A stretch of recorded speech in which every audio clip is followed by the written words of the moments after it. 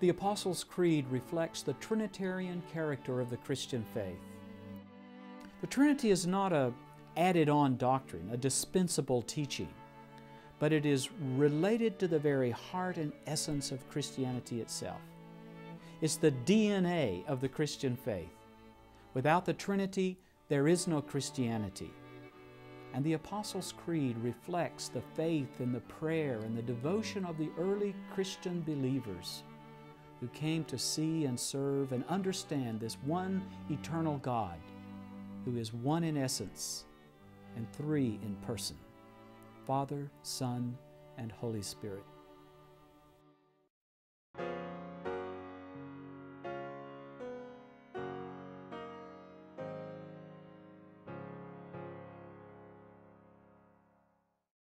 In the New Testament, we find very short statements of faith. For example, Jesus is Lord.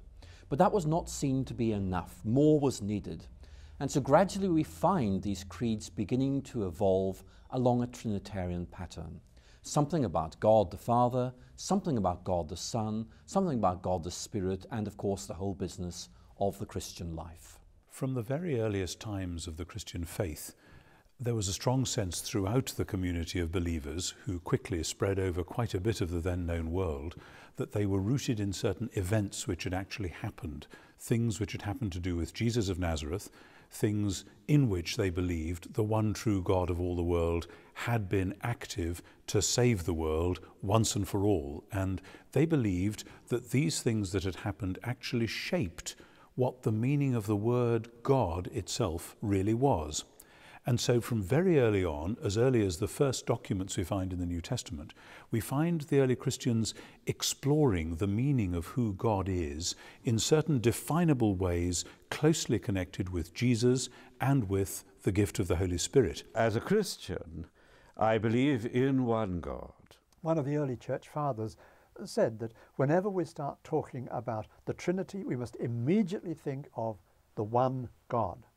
And as soon as we think of the one God, we must immediately remember Father, Son, and Holy Spirit. There's a kind of toing and froing all the time in true Christian belief between the real statement, God is one, and the recognition He's revealed to us as Father, Son, and Holy Spirit. God is indivisible, but that He is also three persons Father, Son, and Holy Spirit, totally united.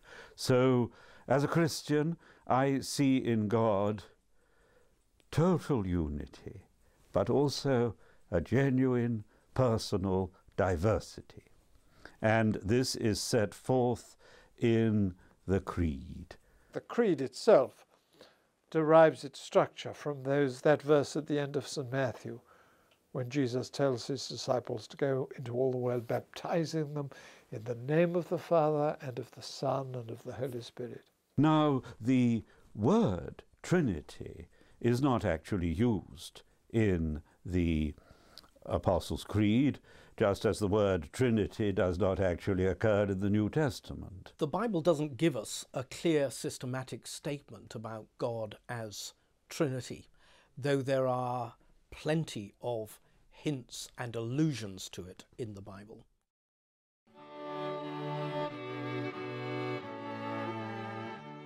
The fact that God has forever known Himself and in history has revealed Himself to us as the Father, the Son, and the Holy Spirit. The Father who creates, the Son who redeems, and the Spirit who sanctifies and gives new life in Christ. The idea of a plurality in God is prefigured in the Old Testament. You have God and His wisdom, for instance, and wis His wisdom in, in Proverbs uh, is seen as something sort of um, almost over against God, and yet is God. You have the angel of the Lord.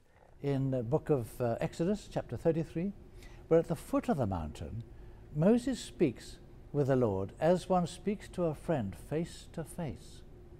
Then, further up the mountain, he's again speaking to the Lord, but there he says, I want to see your face. And the Lord's reply comes, My face you cannot see, for no man can see me and live. So we have to ask ourselves then, you know, are both these beings the, of the deity? They are, they are. One is the Father and one is the Son. A little bit further on, you get the reference to the Spirit of God as well. So that the Trinity is all there from the very, very start, right back to Genesis. There are these figures, the, these elements in the Old Testament, which with hindsight we can see as pointing forward to the Trinity.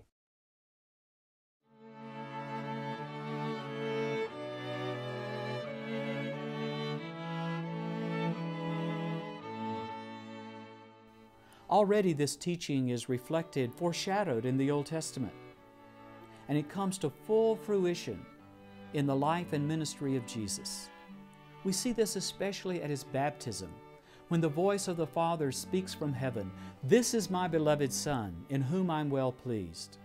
And the Holy Spirit, in the form of a dove, comes and descends upon Christ. We can understand the doctrine of the Trinity in the context of salvation history. The Bible is written against the backdrop of many gods. In the Old Testament, Yahweh is the one God. But the, the gods of the Canaanites, the, the gods of Babylon, the, the gods of the Egyptians, there's the one God who is the creator of heaven and earth. The great difference in the Old Testament between the Hebrews' God and the other gods is that the other gods were localized gods. They had particular functions associated by and large with nature. But Yahweh, the Hebrew God, is maker of heaven and earth. He is God over all the gods. They are gods, small g. He is capital G. When we come to the New Testament, um, the backdrop there is, is Greek and Roman gods, and there are many gods. Uh, but here you again have the one God in continuity with the Old Testament God Yahweh, but going a step beyond because God manifests Himself. He comes to us as a human being why did they take that route when they wanted to say that we are monotheists, not pagan polytheists? Wasn't that a risk to say, um, you know, that this is the, the threefold thing that's going here Father, Son, and Spirit? And the answer is it is all because of Jesus. That somehow they were forced to say, this human being, Jesus of Nazareth, is both identical with the God who made heaven and earth and yet somehow to be distinguished from him, because Jesus himself prayed to that God, calling him Abba. And gradually, the disciples realize that he is not simply a human teacher. He is indeed truly human.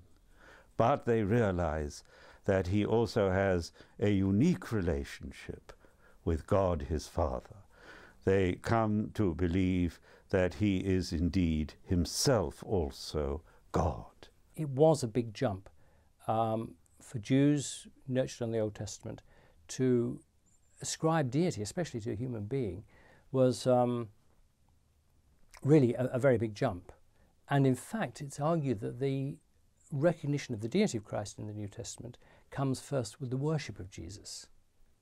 And that actually is also interesting because it points out that doctrine is not just about ideas in the head in fact, it, it, it, was worship, it's the way we relate to God and at that level that um, uh, was the unfolding way in which they came to appreciate who Jesus was and, and that he was more than just a, a great prophet. Incredible, impossible, seemingly.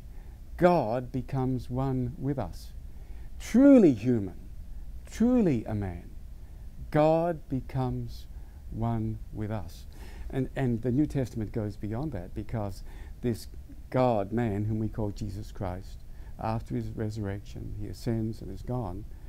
But God, in some way, is still with us, and he is called now God the Holy Spirit. The Spirit who is given to dwell in our hearts is the Spirit of Jesus, and yet Jesus remains a genuinely human being who is over against us. He is our Lord. It isn't just that Jesus lives in us and uh, without remainder. Jesus is different from us as well. So it's because of Jesus they were forced to say from very, very early on that we have to talk in a threefold way about the one God. Once you've established the deity of Christ, you've established that you have God the Father, God the Son, and fitting in the Holy Spirit may take a bit longer, but um, the basic principle is established. The Holy Spirit, of course, is active from the first creation of the world, but when he is sent on the day of Pentecost to the disciples, he is revealed in a new way. And the early Christians become convinced that the Holy Spirit is not simply a force, not simply an atmosphere, but that he is also truly a person and that he is God. After the ascension of Christ into heaven, that the Spirit was the mode in which God was near to us.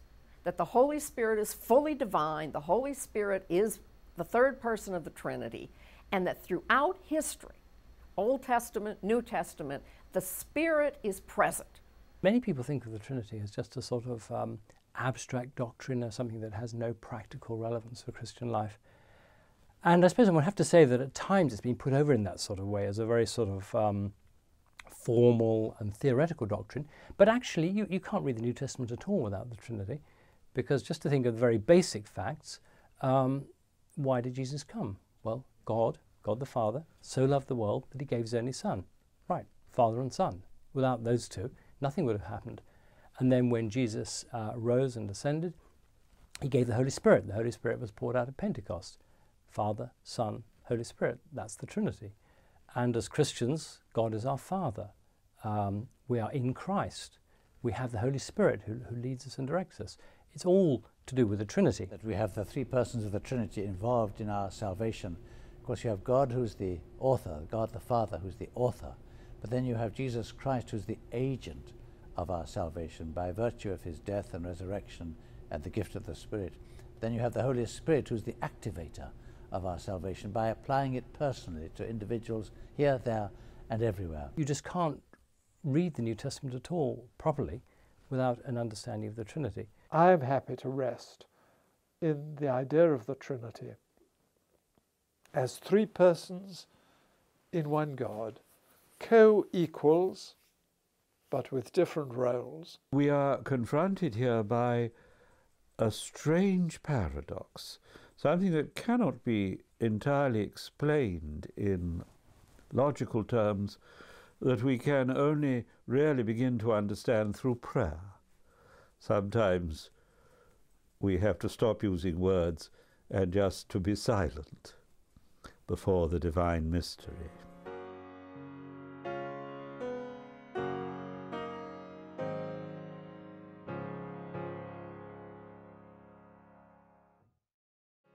Thomas à Kempis once said that it's great to study about the Trinity and read about the Trinity, but far, far better to love the Trinity.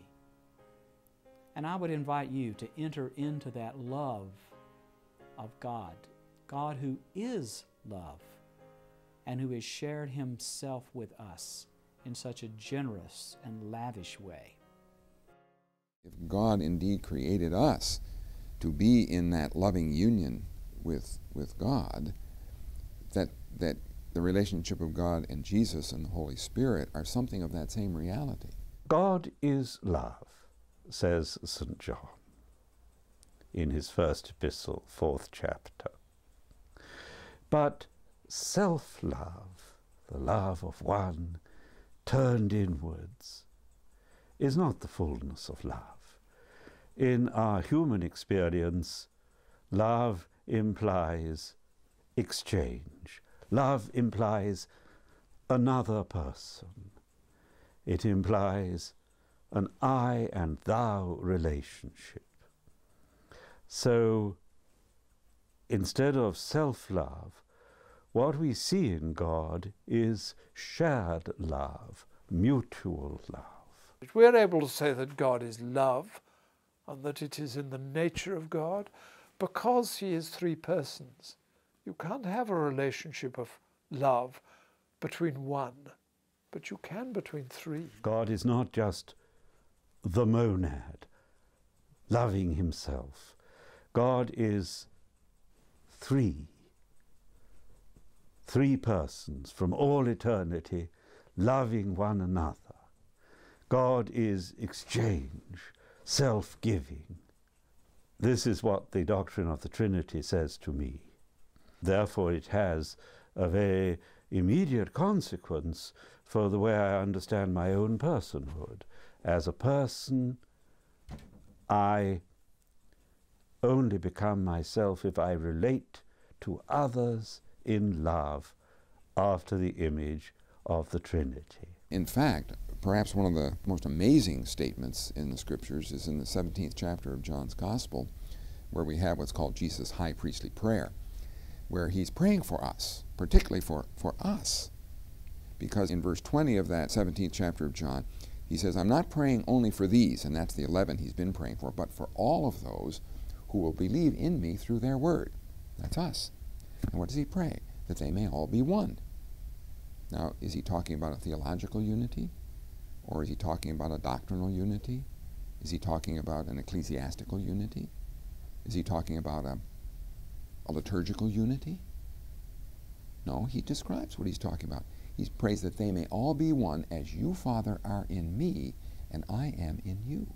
Jesus' prayer for his followers is that they would be in the same relationship of loving union with God that he is. And when you get to the end of that prayer, down in verse 23, he says that the world may know that you have loved them just as you have loved me. Another way of saying that God's love for us is exactly the same as God's love for Jesus, and that the desire here is that we would be in the same relationship of loving union. So that with Jesus, we, we get this relational idea. Now, Jesus doesn't bring the Holy Spirit in at that point, but again, in John's Gospel, you know, Jesus breathes upon them and says, Receive the Holy Spirit. So that whether we're talking about God, Jesus, or the Holy Spirit, we're, we're talking about the same reality. And, and you, th- there are so many different facets to that reality. I mean, we can talk about it in terms of, well, you know, God is, is in heaven, here's Jesus, you know, incarnate on earth, the Holy Spirit is present with us now.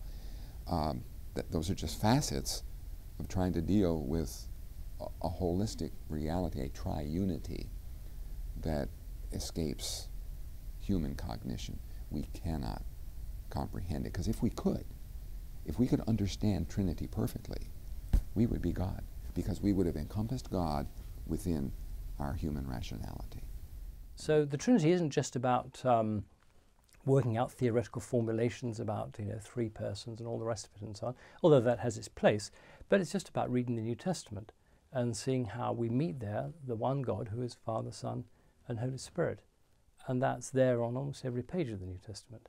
What we find from the earliest Christian writings we have, namely the letters of Paul, is that even when Paul is trying to say, there is one God, it keeps on coming out in two or three ways. He talks about the Father and the Lord, or God and the Son and the Spirit. There's one wonderful passage in Galatians chapter 4 which is actually full of Exodus language, so it's going back to the book of Exodus, um, like so much else in the New Testament, when he says that when the time had fully come, God sent forth his Son, born of a woman born under the law, and then because you are God's sons, God has sent the Spirit of his Son into your hearts, crying, Abba, Father, so that you are now no longer slaves, but children and heirs of God. And then he immediately says, now that you've come to know God, or rather be known by God, how come you're turning away to pagan style deities instead? This is Galatians 4, verses 4 through 8, 9, 10. In other words, you've got a choice from the very earliest days of the church. You are either going to go with the God who you've come to know as the one who sends the Son and the one who sends the Spirit of the Son, or you're going back to some form of paganism. And that is the beginning of what we Christians call Trinitarian theology. What happens is that as people go on, they begin to experience God in different ways. And the only way the early Christians who'd grown up with this very strong belief that God was one, the only way that the early Christians could describe God after the coming of Jesus and after Pentecost in the coming of the Holy Spirit was to say, yes, God is one. Uh, monotheism is absolutely at the heart of our faith. There are not three gods, but God is experienced as three distinct persons, equally and fully God. But He is the Father, and He is the Son whom we see in Jesus Christ. And then, after the resurrection and ascension of Jesus Christ, He is the Holy Spirit, whom we still know at work in our world today. And the Holy Spirit makes Jesus real and alive to us, the teaching of Jesus. And it is Jesus who is the mediator, the divine agent to connect us sinful human beings to the Father. So all is in the hands at the end of time of the Father. The Son and the Spirit submit in a right way to Him, but are not less than Him. They are all fully God. That is, of course, mind blowing. It was mind blowing in the first century and it's mind blowing still. But it's all because of Jesus that they had to differentiate between Father and Son and Spirit. And in a sense, that remains the glorious central task of all Christian worship as well as theology uh, to explore and elaborate and celebrate the threeness as well as the oneness of God. One way you might say this is that all that we know of God is in the Father. All that we have seen of God is in the Son. All that we feel or experience of God is in the Holy Spirit. One God, but coming to us in different ways. Now, this is not stated in quite that way here in the Creed, but this is what I see as underlying the Creed this gradual development in God's revelation of Himself.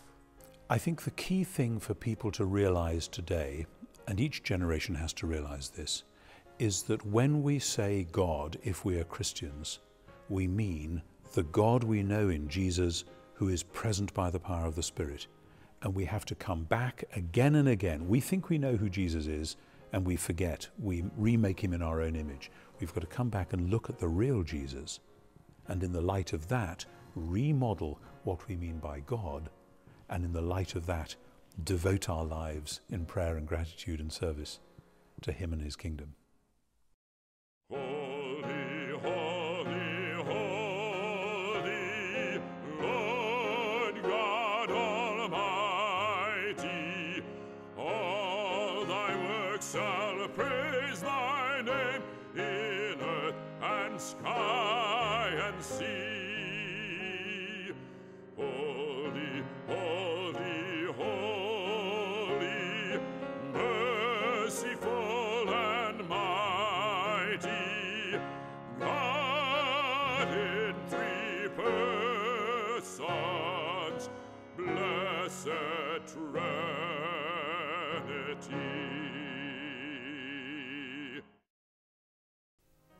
St. Paul concludes his second letter to the Corinthians with this beautiful prayer The grace of our Lord Jesus Christ, and the love of God, and the fellowship of the Holy Spirit be with you all. Amen.